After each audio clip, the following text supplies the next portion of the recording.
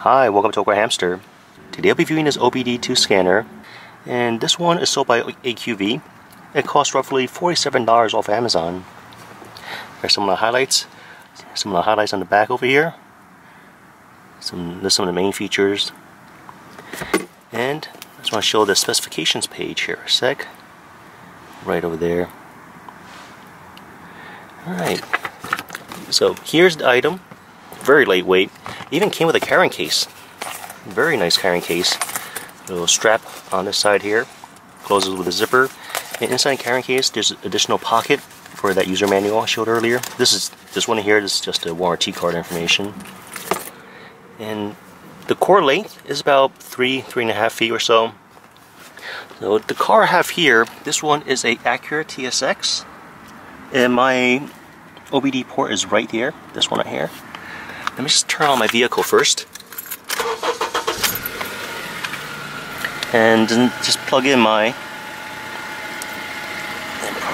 plugged in this OBD2 into the port and it'll power up.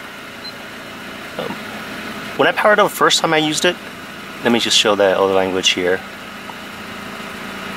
It was German. So luckily I understand a little bit German. So just Sprecher, change the language, change it to English. If you get lost, just remember the last menu here is for language. There's version information. If I ever need to update the version or this the codes on this OBD2, this item also came with a mini USB cable so I can plug it through or update it through a computer. Now back to this unit. So let me just go to OBD2 diagnostics, enter.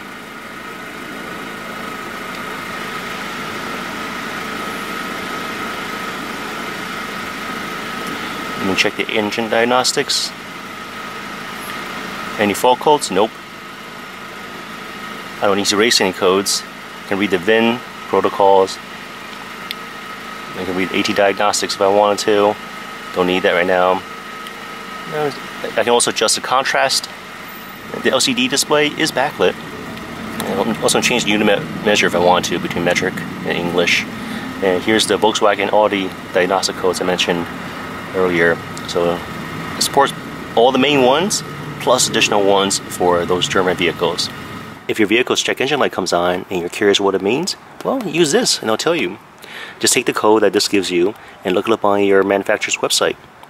Another benefit of this is that it can also erase the check engine light. So let's say I need to bring my car in for inspection.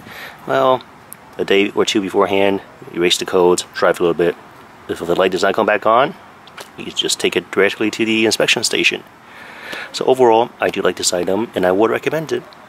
Well, thanks for watching this review. If you guys have any questions, comments, suggestions, feel free to contact me. Thanks for watching Awkward Hamster.